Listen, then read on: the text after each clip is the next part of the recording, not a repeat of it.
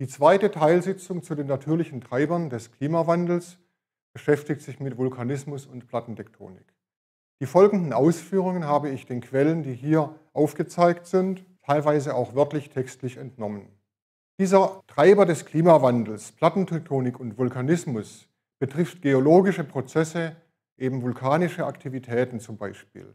Unter Vulkanismus versteht man alle Phänomene, die mit dem Aufsteigen von Magma aus dem Erdmantel an die Erdoberfläche zusammenhängen. Meistens sind diese an bestimmte Regionen gebunden, bei denen verschiedene Platten der Erdkruste aufeinandertreffen.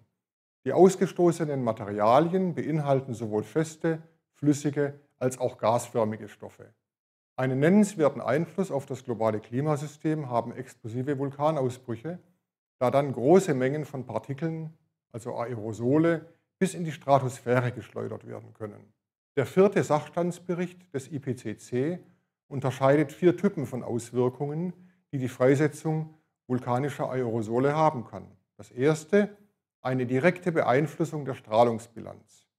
Dies beinhaltet die Rückstreuung einfallenden Sonnenlichts sowie die Absorption langwelliger Strahlung. Der Rückstreuung durch Sulfataerosole kommt dabei eine entscheidende Bedeutung zu. Sulfataerosole entstehen etwa innerhalb eines Monats nach einem Ausbruch durch die Oxidation in die Atmosphäre gelangter Schwefelgase. Diese entfalten dann aufgrund der Rückstreuung des Sonnenlichts eine abkühlende Wirkung, verbleiben aber nur ein bis wenige Jahre in der Atmosphäre, bis sie zurück in die Troposphäre gelangen und dort ausgewaschen werden. Die beiden entscheidenden Unterschiede zur Klimawirkung langlebiger Treibhausgase wie CO2 sind damit, dass Vulkanausbrüche die Erde nahe der Oberfläche zum einen kühlen, zum anderen aber auch nur vergleichsweise kurz wirken.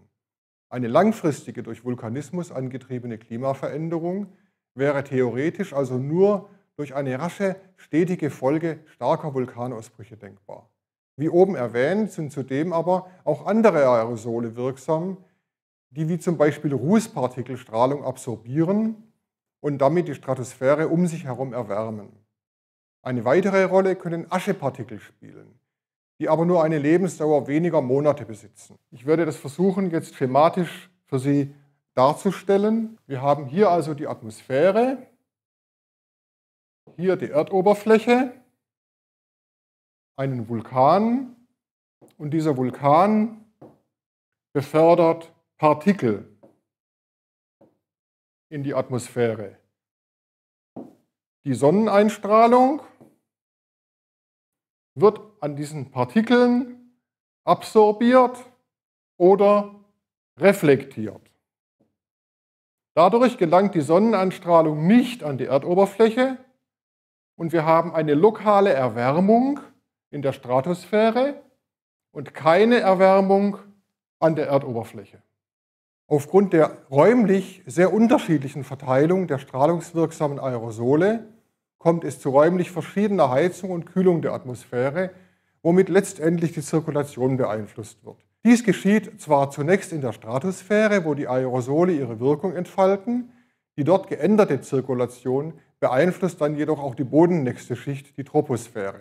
Es wird davon ausgegangen, dass die lokal forcierte Wirkung vulkanischer Aerosole Muster natürlicher Klimavariabilität wie El Niño oder die nordatlantische Oszillation beeinflussen könnte.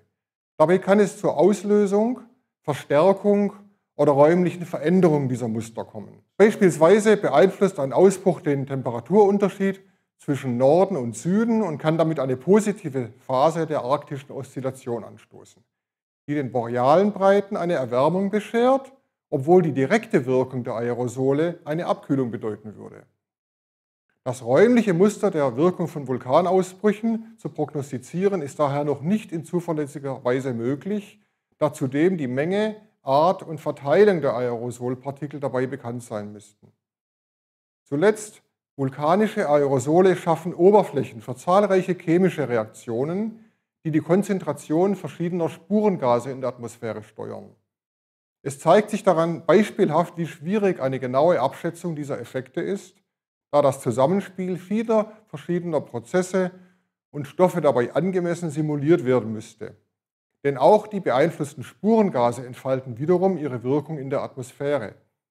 Beispiel ist der Abbau stratosphärischen Ozons, der über ein komplexes Zusammenspiel chemischer und dynamischer Effekte aus einem Vulkanausbruch resultieren kann. Eine Kombination aus Schwankungen der Sonneneinstrahlung und Vulkanausbrüchen kann die Änderung der globalen Oberflächentemperatur weitgehend erklären. Hinzu kommen interne Schwankungen des Klimasystems und Rückkoppelungsmechanismen wie zum Beispiel die Eis-Albedo-Rückkoppelung. Auch die Änderung der Bodenbedeckung durch die Umwandlung von Wald in Ackerland kann eine Rolle gespielt haben. Manche Forscher halten es sogar für möglich, dass die Abkühlung des Klimas der Nordhalbkugel vom Mittelalter bis zur kleinen Eiszeit zum größeren Teil durch die Änderung der Landnutzung verursacht wurde. Die Plattentektonik ist ebenfalls eine wichtige Einflussgröße im weltweiten Klimawandel. Denn die Verteilung von Land und Meer bestimmt entscheidend auch das gegenwärtige Klima auf der Erde. Sie prägt die Energietransporte auf der Erde, die atmosphärische und ozeanische Zirkulation, den Kreislauf von Wasser, CO2 und anderen Stoffen und nicht zuletzt die regionalen Klimaverhältnisse. Diese Verteilung hat im Laufe der Erdgeschichte, wie oben erwähnt, nicht immer so ausgesehen wie heute. Der Grund sind plattentektonische Prozesse, das heißt langsame Verschiebungen von Teilen der Erdkruste durch die Bewegung des darunterliegenden Magmas, durch die neue Kontinente und Ozeane entstanden, Hochgebirge und Tiefseegräben, mit Folgen auch für das Klima der Erde. Plattentektonische Prozesse laufen sehr langsam über viele Millionen Jahre ab. Sie kommen daher auch nur als Ursachen für langfristige Klimaänderungen in Frage. Allerdings ist die Plattentektonik in der Regel mit Rückkopplungsprozessen verbunden, die auch etwas schnellere Klimaänderungen bewirken können.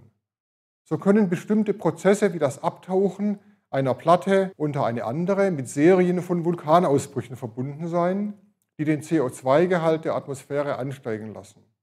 Bei Gebirgsbildungen wiederum kann die chemische Verwitterung so stark angeregt werden, dass der CO2-Gehalt stark abfallen kann.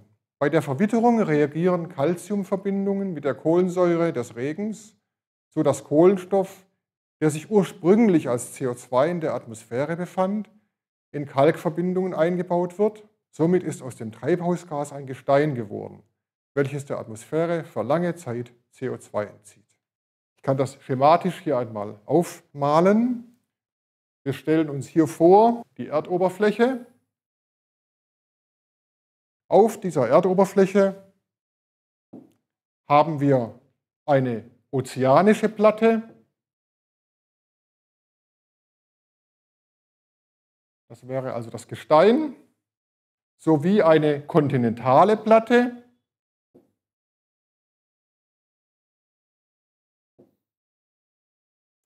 Und die kontinentale Platte hat am Rande dieser Kollisionszone ein Gebirge entstehen lassen. Das sind beispielsweise die Anden äh, am Westrand Südamerikas und die ozeanische Platte schiebt sich im Rahmen einer sogenannten Subduktion unter die kontinentale Platte und hierbei entstehen Vulkane.